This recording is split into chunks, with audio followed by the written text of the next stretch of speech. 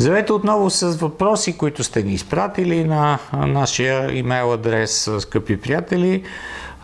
Цвето, Цветомир Цачев пита дали може в крайна сметка да отпаднат новите правила при смените на гуми, защото не може в най-високо технологичен спорт една смяна на гуми да отнема 5-10 секунди. Ако аргументите на Мерцедес за въвеждането им в крайна сметка е някаква безопасност, то това едва ли има някакъв смисъл.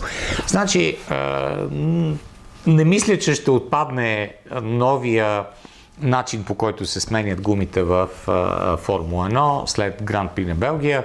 Там, разбира се, нямаше питове, но в следващите състезания видяхме доста сериозни грешки, които направиха и водещите отбори при а, смяната на гуми. В последния брой на списанието ни сме направили специален материал по въпроса как точно се промени процедурата по смяна на гуми и защо в крайна сметка стоповете станаха по-бавни.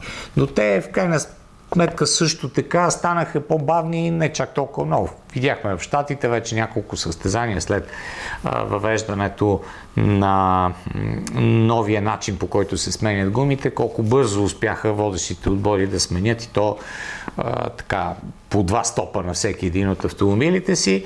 А, така че не мисля, че ще има някаква промяна в тази посока. Дали това беше свързано пряко с безопасността? В някаква степен да, макар че а, окей, нямаше някакви, кой знае, какви инциденти в последните години с а, пилот, който е пуснат без добре да са му сменени гумите заради бързането или нещо подобно. Такива, такива неща са се случвали, но а, правилата са едни и същи за всички и а, мисля си, че някаква степен връщането по-назад сега. Вместо секунда и 8-9 десети да се прави едно спиране, 2 секунди и 8 десети, секунда разлика не е чак толкова, не е чак толкова фатално, ако това наистина е свързано с сигурността. Просто пак новите процедури трябва да бъдат достатъчно добре отработени от екипите, за да се получава а, унази бърза реакция и бърза смяна, която всички очакват от а, Формула 1.